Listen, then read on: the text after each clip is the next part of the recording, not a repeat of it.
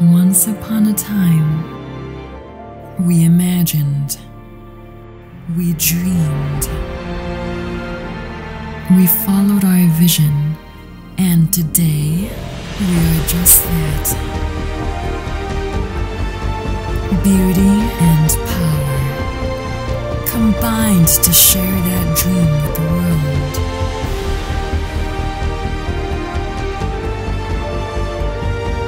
We still imagine.